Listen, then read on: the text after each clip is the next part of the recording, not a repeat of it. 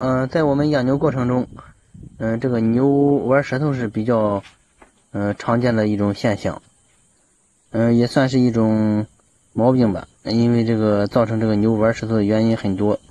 嗯，有的牛玩舌头就是习惯性的，嗯，有的是因为缺乏这个微量元素，因为我们现在大多这个牛都是圈养，这个饲草比较单一，嗯，很容易造成这个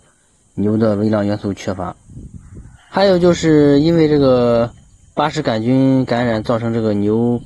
舌根肿大，嗯不舒服，这个牛来回的玩舌头，像这种情况一般不多见。再个就是这个牛习惯性的玩舌头，要是习惯性的玩舌头，像这种情况不影响吃喝的话，嗯不用治疗管理。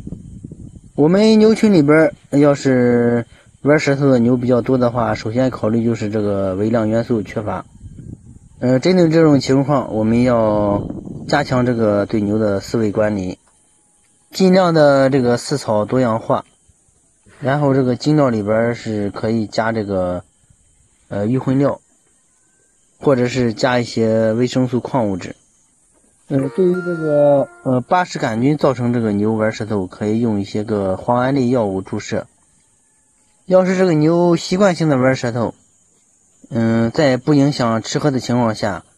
嗯，可以不用管理治疗。好了，今天就和大家分享到这里吧。嗯，我是你们的好朋友加油四宝。嗯，谢谢大家一直以来的关心和支持。